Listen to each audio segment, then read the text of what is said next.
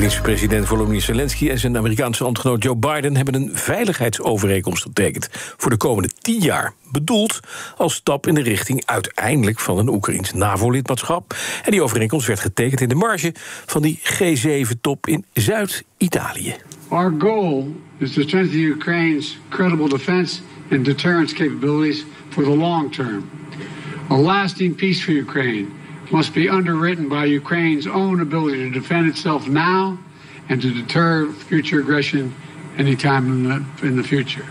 The United States is going to help ensure that Ukraine can do both, not by sending American troops to fight in Ukraine, but by providing weapons and ammunition, expanding intelligence sharing, continuing to train brave Ukrainian troops at bases in Europe and the United States, enhancing interoperability between our militaries in line with NATO standards. En dat zei Biden gisteravond in die gezamenlijke persconferentie die hij hield in, uh, met Zelensky in Puglia. We gaan er verder over praten met buitenlandcommentator Bernard Hammelburg. Bernard, goedemorgen. Goedemorgen, Bas. Nou hing die deal al in de lucht, gisteravond formeel ondertekend. Ja, en wat ik zo'n beetje proef uit deze verklaring van Biden is... we zijn bij je, we staan naast je en dat voor de komende tien jaar.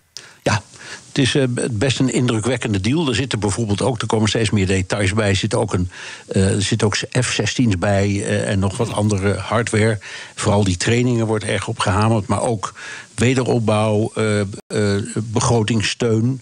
Um, dus een heel pakketje. Maar wat ik het meest interessant vond, is dat ze ook hebben afgesproken om ja, een soort van hotline-verbinding te hebben. Ik zal maar zeggen. Mm -hmm. Dat als er echt iets misgaat, dat ze dan binnen 24 uur bijeenkomen voor overleg. En waarom vind ik dat pikant? Omdat uh, uh, Oekraïne is geen NAVO-lid.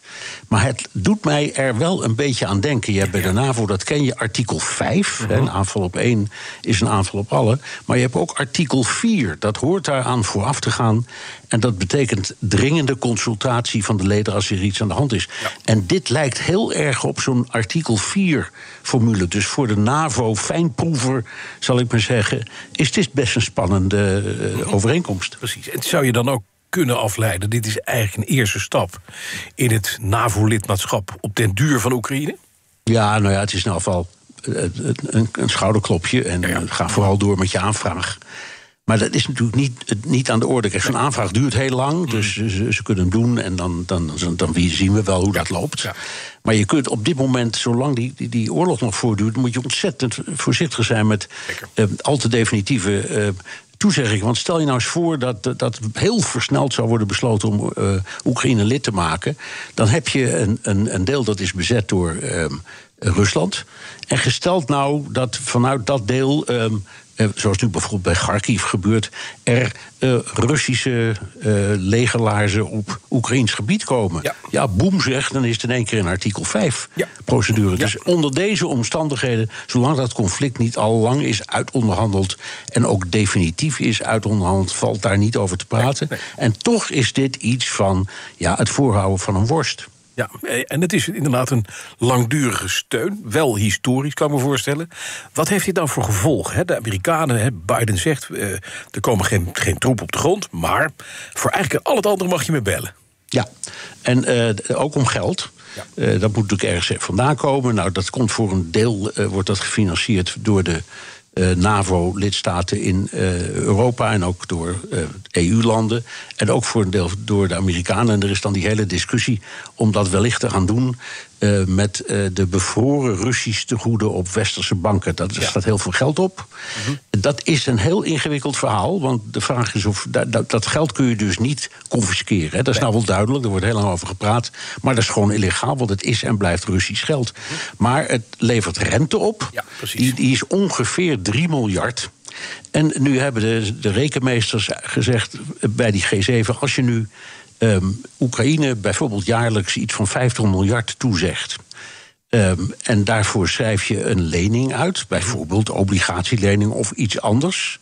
Dan is die 3 miljard rente die op dat Russische tegoed zit voldoende om, die, uh, om, om, aan je verplichtingen van die lening dan te voldoen. Ja, ja. Dus het is een ingewikkelde uh, truc, maar ja. het zou kunnen werken. -hmm. Alleen, ja, de Russen zijn nu, die, die, die, maken nu al een enorme herrie. Want je kunt ook zeggen, ja, potdomme, die, die rente is ook van Rusland. Ja? Ja, ja. Dus hoe, maar goed, daar, daar, daar gaat de discussie over. Ja. En ik denk dat ze daartoe uiteindelijk zullen besluiten. Dit- want de Duitse bondskanselier Olaf Scholz heeft toch gezegd... het is een duidelijk teken aan het adres van, van Vladimir Poetin. Eh, dat signaal, want ja, dat wordt in Rusland natuurlijk inderdaad ontvangen... van je bevriest me de goede, dan mag je niet aan de rente komen. Nee, Wat en gaat dat en- voor gevolgen hebben? Nou, de- de- k- kijk, het, het, het- ik denk dat het belangrijkste nog niet eens dat geld is. Nee. Maar het signaal dat de G7 eh, willen afgeven. Mhm. Eh, Poetin zijn redenering is steeds. Er zijn twee dingen die, die wij hebben en jullie niet. De een is tijd en de ander is manschappen. Dus met andere woorden, dit kan net zo lang doorgaan als ik vind dat het moet doorgaan. Ja, En door dit soort tegenmaatregelen te nemen, zegt de G7: ja, vriend, daar moet je echt wel heel diep, heel diep over nadenken. Want wij zitten ook niet stil. Nee. En eh, je kunt nog zoveel manschappen er tegenaan gooien en drones en ga zo maar door. Maar op een bepaald moment zijn we hier toch te slim af. Nou, dat is eh, ook een beetje wensdenken, maar dat is wel het signaal dat ze afgeven.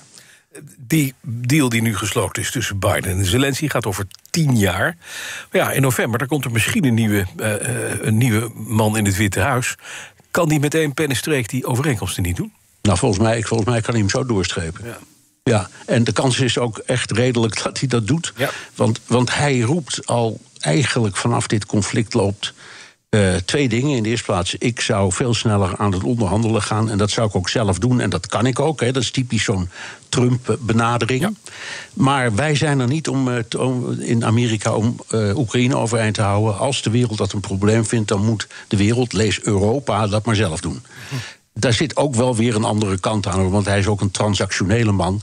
En voor die hele operatie heb je heel veel wapens nodig. De meeste wapens worden gekocht en gemaakt in Amerika. Dus de, de Amerikaanse wapenindustrie vaart wel bij zo'n conflict. En dat, dat zal Trump ook niet helemaal eh, ontgaan. Maar, maar de vraag, de, de goede vraag. eh, de Biden kan voor tien jaar tekenen. En eh, nou ja, op 20 of 21 januari 2025, één dag nadat Trump is eh, ingezworen, als hij wint, ja, dan kan hij er in één keer een streep doorhalen. En hij zal niet twijfelen om dat te doen. Nee, dat denk ik ook. Dankjewel, buitenlandcommentator Bernard Handelbrug vanuit New York.